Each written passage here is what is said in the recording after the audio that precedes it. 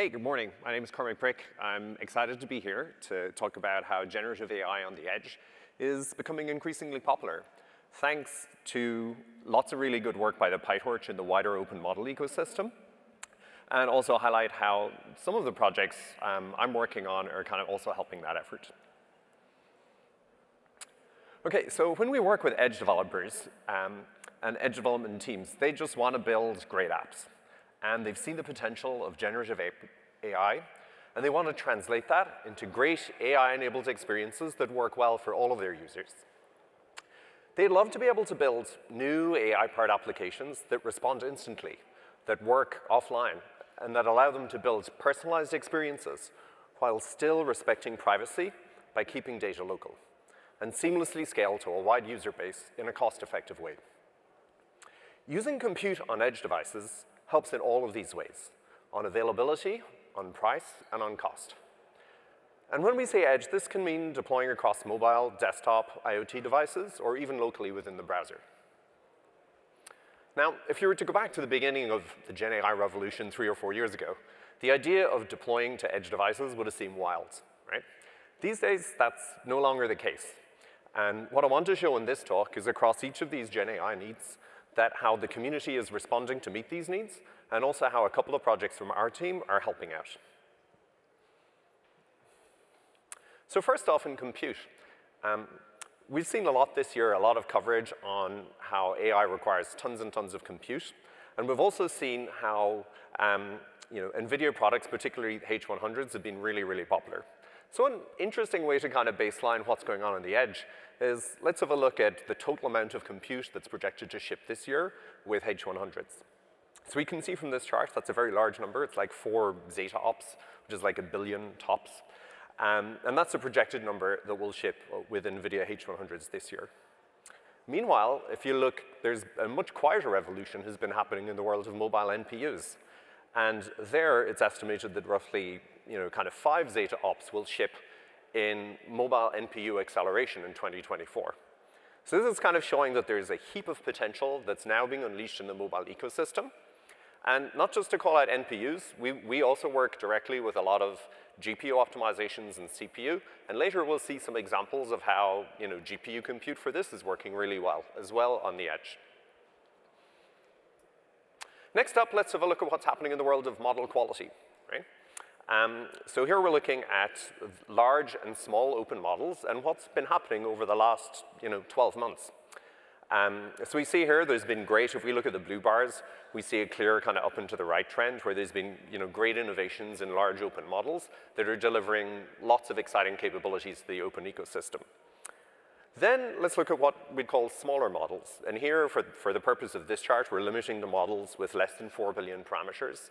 That's an important kind of breakpoint because even with, you know, if we get 4-bit quantization, that allows us to kind of fit both model and runtime often into kind of less than 2 gigabytes of DDR memory footprint.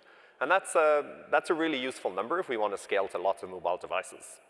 So then looking at the green bar chart, we can see we're going, you know, from where we were um, at the start of this year uh, with Gemma 2, and then it was a kind of Phi 3 model. And then just recently at the end of last month, we had a Gemma 2 model getting released. And what's interesting is you compare to the state of the art of really large open models where we were last year to you know, what's now capable, even in the last month with what the open model ecosystem is doing for smaller footprint models. Um, yeah, this is amazing. There's really uh, uh, amazing um, capabilities are being delivered into users' hands um, that are relevant and ready for on-device experimentation. Okay, next up I'd like to talk a little bit about kind of deploying classic ML uh, versus deploying Gen AI. Uh, so in the world of classic ML, life was kind of relatively straightforward. You would define and train a model, you'd use Torch export, you'd export to a particular edge AI toolkit, such as like AI Edge Torch, ONNX, Executorch, or TensorRT. And then you would deploy, and your application would have a pretty simple construct of kind of application logic, you'd wrap a model, and you'd call a runtime API. Now, with deploying GenAI from PyTorch, this picture gets a little bit more complicated. Um, and that's kind of resulted in some kind of more boutique frameworks um, for on-device um, generative AI deployment. That have also become you know, popular for edge deployment. So there's a few key ideas of what we'd like to be able to do uh, to make this better starting from PyTorch. One is we really want to keep developing in PyTorch. You know, there's no need for you to leave and use a completely different set of tools just because you want to deploy GenAI to the edge. And typically all of your model evals um, that you want to use are going to start in Py PyTorch, as long as kind of, along with fine-tuning capabilities like TorchTune. Also, it's really helpful for edge deployment to have a single model artifact that has all of the model weights, but is flexible enough to enable deployment in different ways. So this means exporting a separate entry point for kind of prefill and decode, while also being able to share weights. Uh, if you had like a multimodal model with a specific image encoder or audio encoder, that would also happen here. And one of the key points here is we also want to have a lot of flexibility in how we deploy. And this is one of the things that makes you know, the generative AI picture different is how we want to deploy. So for different types of applications, we may want to kind of, um, we may want to have kind of a lot of application-specific customizations of how the KV cache is used. Let's say for really common prompts, you want to kind of store a KV cache state that corresponds to like really common um, prompt prefixes or you want to call, you know, decode either in kind of smaller or larger increments depending on the type of user interface you want to see. So by having this type of scheme where we can export a model with different entry points, this then allows application developers to build lots of different types of applications starting from the same model artifact without having the need to go back to the framework if they just want to you know, have a different KV cache scheme or different um, way of integrating their model with um, the rest of their application. Okay, so if they're the requirements, um, one way um, that our team has been working on to meet those requirements has been deploying GenAI to the edge using AI Edge Torch, which is a library within PyTorch, and LiteRT, which is an optimized runtime for mobile deployment. And here the flow is you build the models in PyTorch using you know, the tools we've heard about earlier, like kind of, you know, you could use things like TorchTune, and then you use AI Edge Torch optimized layers. You can then optimize and validate all within PyTorch, apply custom quantization, and then you can convert and run in kind of the LiteRT runtime. A quick aside here is LiteRT is a rename for TensorFlow Lite uh, that we did earlier this month, and that reflects, um, reflects an evolution that's happened in that product over the last um, six months to support, um, to have great support for PyTorch in addition to um, other ecosystem frameworks. Um, one benefit of this is it allows you to deploy generative A, um, the generative AI models to edge devices using the same kind of runtime and techniques that you use for all of your classic ML models as well. And this AI, AI, AI Edge Torch project uh, includes lots of different examples of the types of smaller models that I was talking about earlier, including TinyLlama, Gemma, OpenELM, Phi2, SmolLM, T5, Stable Diffusion, and we're continuing to add more as they become relevant to edge developers. Now let's uh, take a look at what that looks like in code.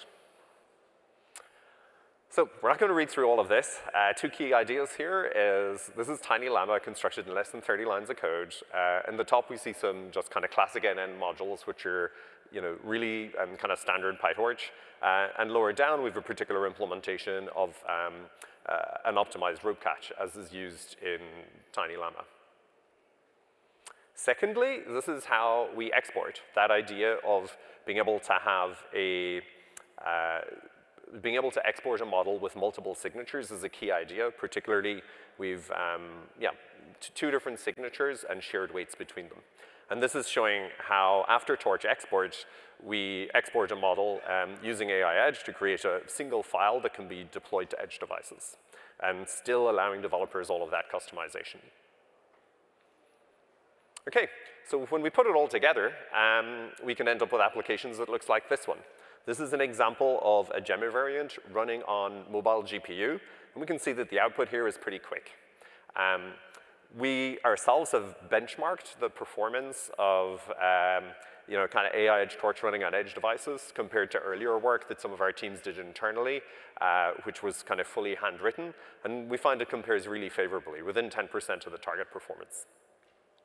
Um, this application is also available fully open source if anybody wants to um, anybody wants to hack with that code today, that code is available. And um, this model is also running fully on GPU. Uh, we're also working really closely with kind of uh, different hardware vendors, as we've seen that NPUs are going to be really important to the future of generative, um, the future of generative um, AI. Okay, uh, so that's it for the kind of model development and deployment, but you know, what when things go wrong or you're worried about performance? So next up, I'd like to look at a tool that we've developed on how we can visualize models and understand performance, both of which are really critical um, for on-device use. So that tool is called Model Explorer. Um, here we're looking at a uh, version of Gemma 2 viewed in the tool. Uh, the tool has a few key ideas. Um, one is it's capable of handling you know, massively large models, something which existing ecosystem tools can't do. So Gemma 2 has 2,000 nodes. We've tested this in very large internal models of up to 50,000 nodes, and it performs seamlessly. The second, with these really large models, it's very helpful to have, um, uh, to have model hierarchy reflected in how you uh, view the models. So here you can start off with a, with a uh, kind of very zoomed out kind of top level view, which will show only kind of major blocks of the network. Or you can also drill down through layers of hierarchy to see, um, for example, in this screen grab, of how the you know, particular attention layer is behaving within the Gemma model. And additionally, while you view that, you can see lots of metadata about the model on the right. And as an open source project, one of the really nice things about this is it's highly extensible. So it's very easy to add support for new model formats, but also it has this kind of neat idea of kind of custom model metadata overlays where you can produce, um, where you can give the model additional files, additional JSON files that have the um, node names and additional information, and then um, view that in various ways as something like a heat map. So this is back to the uh, Tiny Llama uh, model. And here we're looking at a kind of heat map of kind of runtime latency running on um, a CPU for, for that model. And you can see the, the final fully connected layer is what's uh, resulting in low runtimes for this, um, for this variant. Um, yeah, so this project is available today and it supports multiple frameworks. It supports um, PyTorch exported programs, which is the example you can see at the end. You can just call PyTorch export and then um, just pass that exported uh, program to a Model Explorer visualizer. And we support multiple frameworks, so both kind of PyTorch, LiteRT exported. The community has provided ONNX implementation in the last couple of months, and we also support TensorFlow and JAX. Cool. Um, that's kind of mostly it for me today. Uh, takeaways. Um, one, it's a really exciting time ahead for Gen AI on edge devices. Uh, there's a growing amount of compute available with better and better abstractions on top of it. And also there's a really rapid pace of model innovation at the edge. Second is the PyTorch ecosystem is doing lots to help uh, get generative AI models running well on the edge.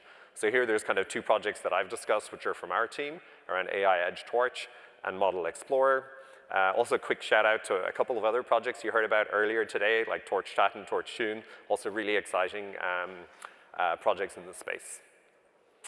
Um, also, I would say you can come check out the Model Explorer has a poster session. Uh, if you want to kind of talk to the Model Explorer team this evening, they'll be available at that.